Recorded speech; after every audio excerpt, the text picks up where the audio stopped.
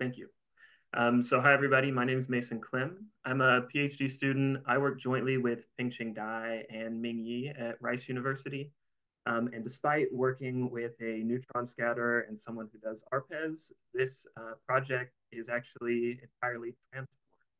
So I will be discussing a little bit of ARPES and a little bit of uh, neutron in the context of this. Um, but today I'll be talking about um, orbital selective pairing in iron-based superconductors. So first I'll give some acknowledgements on some collaborators. So at Rice, we have people involved with um, sample growth and also just uh, directing the project and at the uh, National High Magnetic Field Lab in Tallahassee for transport measurements at high field. Uh, and then also at Argonne National Lab for some theory help. And then we also have our funding. So I'll start um, on a little bit of background and context on some iron-based superconductors. Um, and for those that know a bit about this, I will uh, clue you back in when pay a bit more attention. Um, but to start, um, basically just say that the iron-based superconductors kind of demonstrated a uh, pretty important finding that uh, there's not just the lonely island of the cuprates uh, representing a family of high temperature conductors. Um, additionally, the iron-based superconductors uh, offer a very rich platform to study the interplay between magnetism uh, and superconductivity. Um, notably, in uh, these iron-based superconductors, you have this electronic nematic state uh, that emerges uh, at this um, structural transition. I'll talk about this uh, in detail. Um, but something that's sort of remained elusive is the microscopic origin of superconductivity, um, and also in the pairing mechanism of the iron-based superconductors. Um, but there's been a number of uh, neutron scattering experiments, also STM. Uh, I don't include the STM stuff here, but um, that sort of uh, paint this picture of an orbital selective pairing mechanism in the iron-based superconductors. And hopefully the work that I show later sort of fit nicely into that uh, overall picture.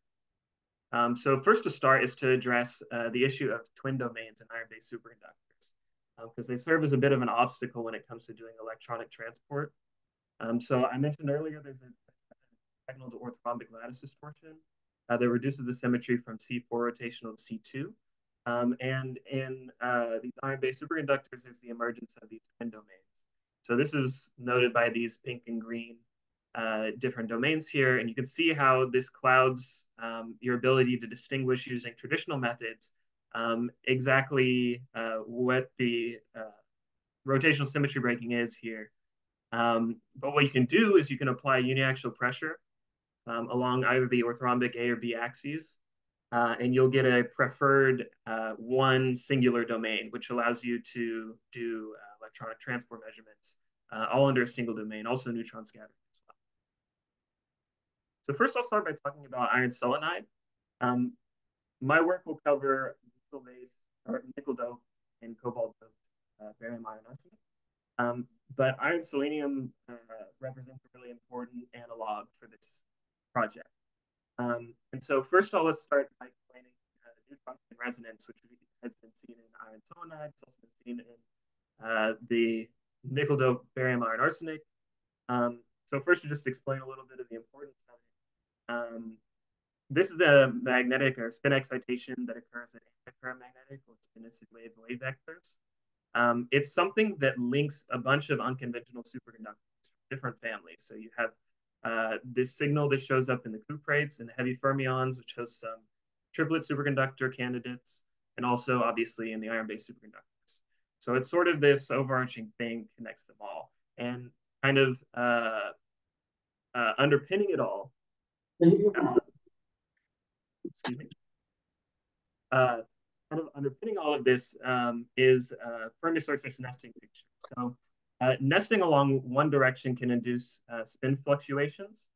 So in the case of uh, barium iron arsenic, uh, you have um, above this structural tetragonal state, this isotropic nesting uh, with Q1 and Q2 correspond to nesting between DYZ uh, and DXZ orbitals respectively. And when you drop below into the electronic nematic state, you have this preferential nesting. Uh, very nice for the dy uh, for electrons of DYZ uh, orbital.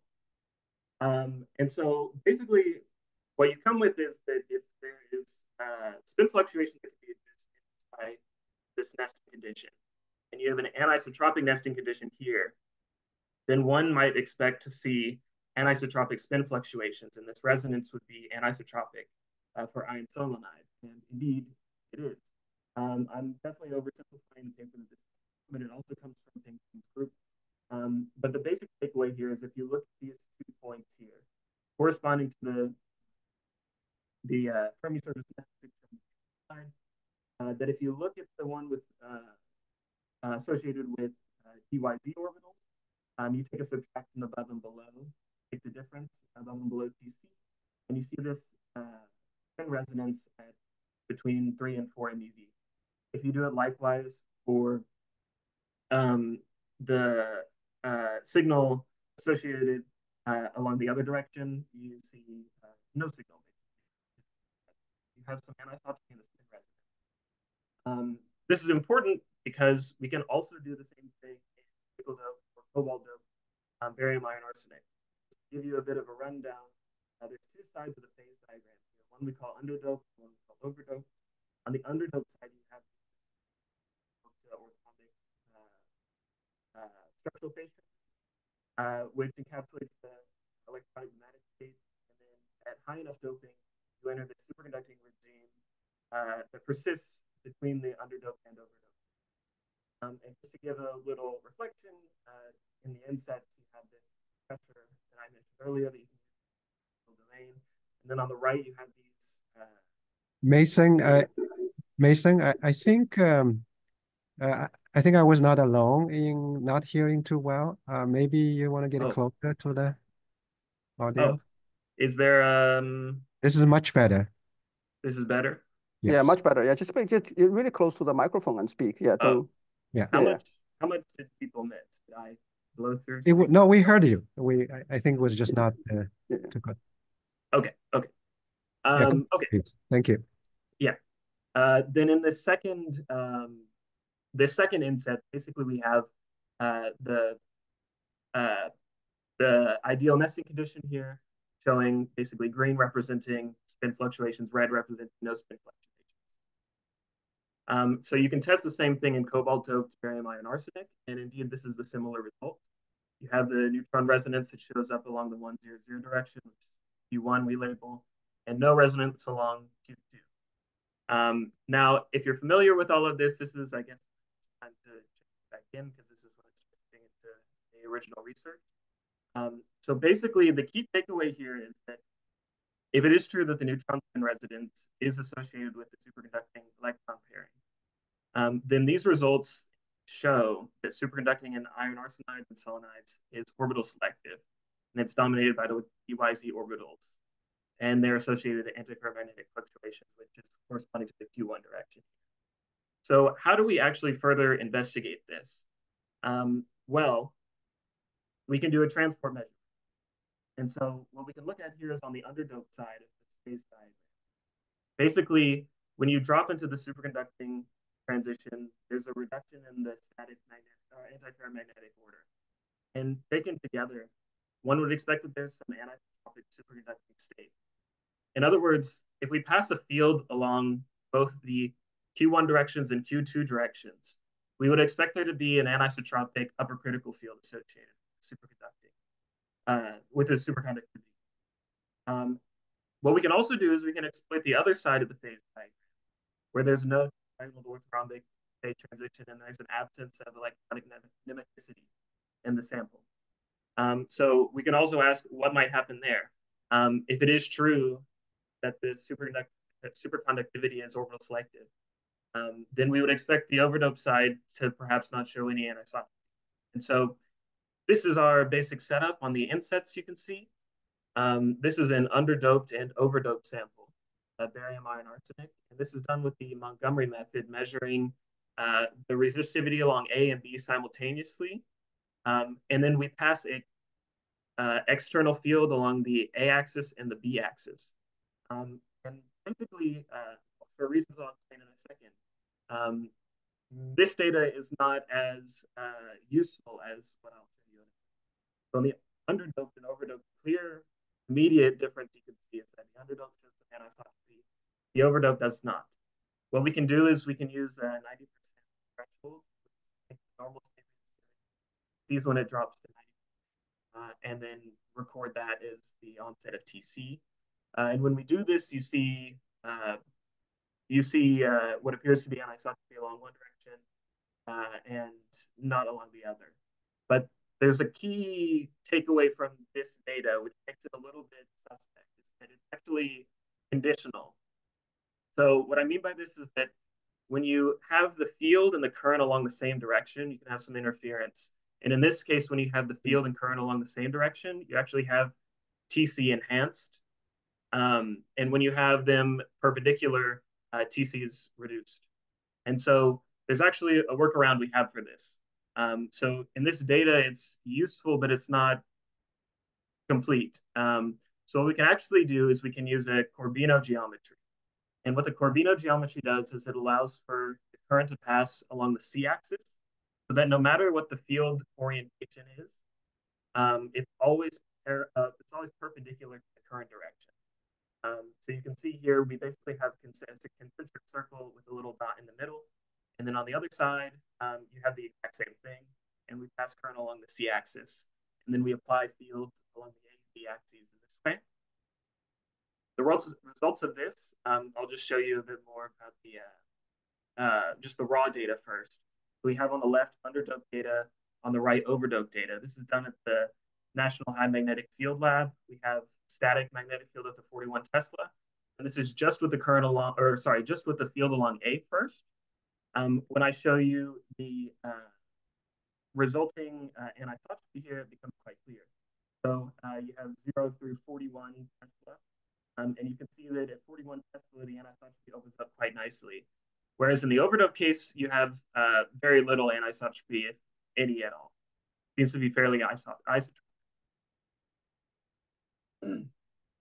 Uh, then if we plot the 90% um, criterion here, you can see that the anisotropy opens up in an uh, continuously expanding at higher and higher fields. Uh, we can also use a 50% criterion here, which shows a lesser degree of the anisotropy, but still there. Um, and you can even do this for 10% uh, as well, and you see same same same result, uh, just the a little bit less. Um, whereas on the overdope side of things, you actually don't see any anisotropy at all. Um, these error bars here, you may be asking, uh, are actually uh, introduced to overcome this uh, these humps that we see. Um, I can address them uh, a little bit, um, but basically these error bars are taken into account whether we define the uh, normal state resistivity as this flat region before the hump, or if we classify the peak of the hump uh, as being the normal state resistivity. Um, in either case, um, the anisotropy lives on in the underdope sample, whereas in the overdope sample, uh, it's completely gone. Um, likewise, uh, questions may be asked about um, the role of uh, vortex physics in this. And so what we can do is we can extract the um, uh, activation energy here uh, by plotting the log of the resistivity and then the inverse of the temperature here and extract and uh, perform a linear fit. We extract the uh, activation energy, and the anisotropy follows a different uh, follows a different pattern than that of the uh, raw data. So the pure resistivity follows a completely different path. So it's safe to say that these things are independent. We can rule out the vortex physics in this. Uh, additionally, we can look at the MR effect um, and uh, to rule out any sort of uh, role in the antiferromagnetic order in this. Um, and so basically on the left we have going up uh, less than 1%, um, less than 1% of 1%. Yeah, Mason, you need to be closer again. Yeah. Oh, sorry. Uh, less than 1% of 1%, um, which means basically completely negligible. Um, so the antiferromagnetic order having any role in this. Um, you can also see the raw data from 30 Tesla um, plotted showing the normal states uh, resistivity overlapping. Um, so I sort of uh, blew through and anticipated. Um, but a part of this is the uh, cell, uh, a part of the uh, publication evidence for this. Uh, they require a, a visual app nice for summarizing uh, summarizing the story here. So uh, first we have this Fermi surface nesting with favorable nesting in the DYZ orbitals along this Q1 direction.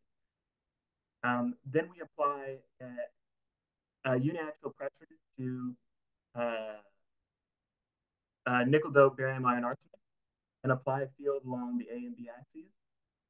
And what we find is that when you apply a field along the B axis, you have these uh, superconducting electrons are unaffected, uh, and or at least not suppressed to the same extent as by the field along the A axis, um, where you see the uh, pairing for the DYZ electrons um, are suppressed in comparison.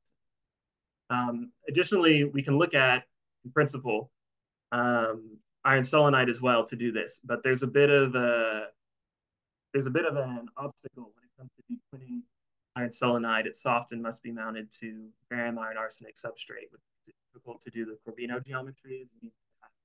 Context on both sides, but we think we have a clever workaround for it. Um, so that's something that's planned for the future. Um, I can also just open it up, put a QR code here, if people would like um, to see the paper on the arXiv. It'll soon be published on Cell Reports Physics, which is a new journal. Um, they said uh, to tell your friends about it. They let us uh, publish there for free, which is nice. Since you came to my talk, uh, I'll consider you friends, I guess. Um, so you can tell your friends about it. Okay, on that note, thank you, Mason. Any questions, comments for Mason?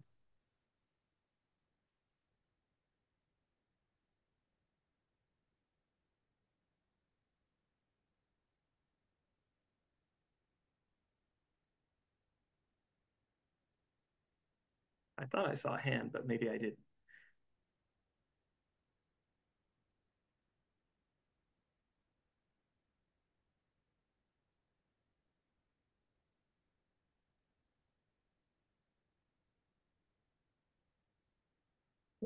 Maybe I can ask a question. Um, so, uh, so I wasn't quite clear what the picture is. Um, are you saying that because uh, uh states on the Fermi surface have uh, um, sort of uh, have an orbital distribution as you go around the Fermi surface, um, the pairing is orbital selective, or are you saying something else? And would you mind clarifying? Yeah, the spin fluctuations seem to be a result of this uh, Fermi surface nesting in this material. So there's a ARPES, this schematic is based off some ARPES results. Um, and basically, if the inelastic neutron scattering that I showed at the beginning is true, um, well, if the inelastic neutron scattering is indeed showing that these spin fluctuations are anisotropic, and this is related to the and the origin is in this Fermi surface nesting, um, then it's safe to say that the pairing mechanism itself is orbital selective. Mm-hmm. And when we do this transport measurement, um, and we show that the resistivity along the A and B axes yield different upper critical fields. Sorry, when the field along A and B axes uh, reveals a different upper critical field. Um, then basically what we can say,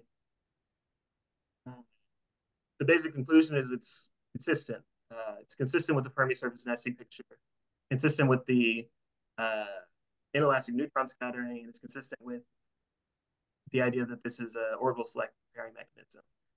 Uh, particularly when you pair it with the overdoped sample.